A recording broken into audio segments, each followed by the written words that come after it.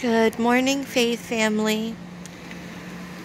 Well, apparently, we do get some blue today, and our storm is not going to be that bad.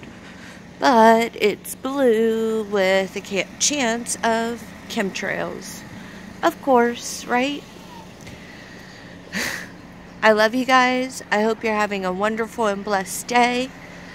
Thank you for watching this morning's episode of Sunny with a Chance of Chemtrails. I love you guys and stay blessed.